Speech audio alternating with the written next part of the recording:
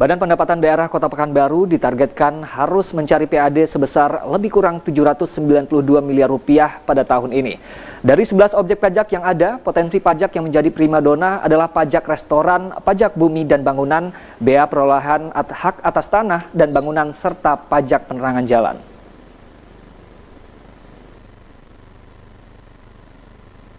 Kepala Badan Pendapatan Daerah Kota Pekanbaru, Alek Kurniawan, menyebut berdasarkan kesepakatan dalam APBD 2023, Bapenda Kota Pekanbaru tahun ini ditargetkan meraup pendapatan asli daerah sebesar 792 miliar rupiah. Target tersebut naik sebesar 50 miliar rupiah dari target PAD tahun 2022.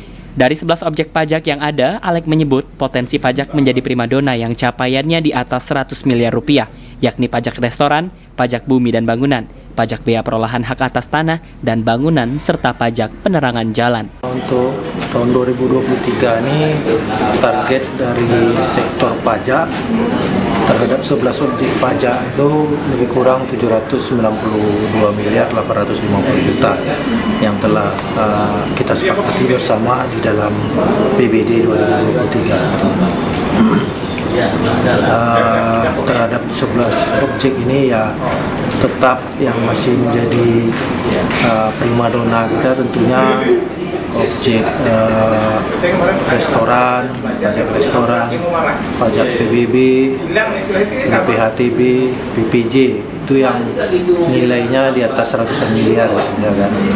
Jadi ini tetap menjadi primadona kita. Terus ada juga nanti pajak hotel, pajak parkir, pajak hiburan.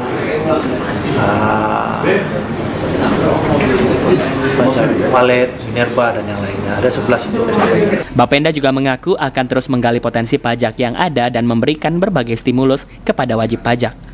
Priska dan Hendra Putra melaporkan.